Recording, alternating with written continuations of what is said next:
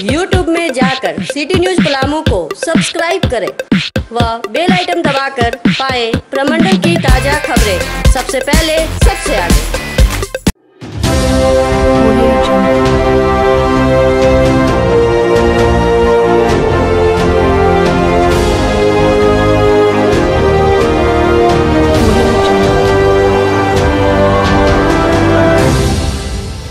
सरकार स्कूली बच्चों को गुणवत्तायुक्त शिक्षा मुहैया कराने का भरपूर प्रयास कर रही है, लेकिन सुविधा के अभाव में सरकार का यह प्रयास रंग नहीं ला रहा है।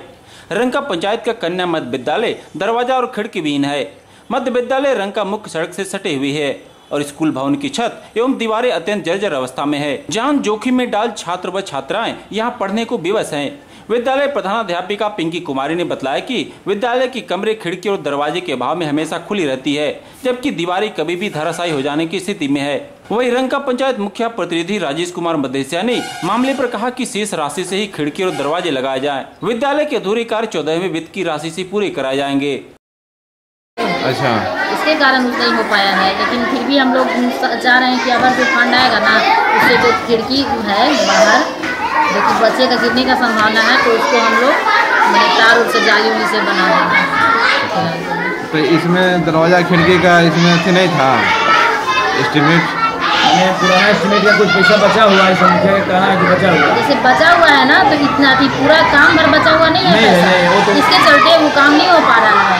जैसे आप जितना है लगा देंगे ना लगाने के बाद मुखिया लगाएँगे बोले चौदह में बिताए नहीं तो हम बिल्डिंग बिल्डिंग वाला काम नहीं करना चाहते हैं बिल्डिंग वाला काम आपको नहीं करने के लिए बोल रहे हैं। मैंने आप मैं विगत चार वर्षों से अधूरा पड़ा बिल्डिंग बिल्डिंग जिसमें जो छत है ऊपर की भाग पूर्ण रूप से खुला हुआ है, उसमें कभी भी कोई बच्चा गिर सकता है, जिससे अप्रिय घटना घटने की संभावना है।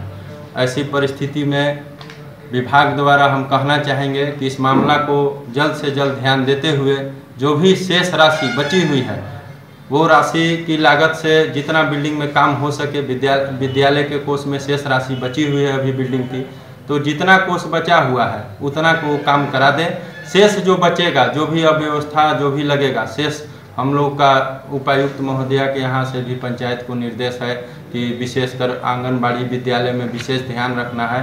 तो हम लोग चौदहवीं वित्त से भी जो काम बचेगा, उसको कराने का प्रयास करेंगे। लेकिन जो अभी शेष तत्काल बच गया है राशि, जो भी है विद्यालय के फंड में, वो जो बिल्डिंग है, उसको सेव किया जाए, नहीं तो कभी भी अप्रिय घटना घट सकती।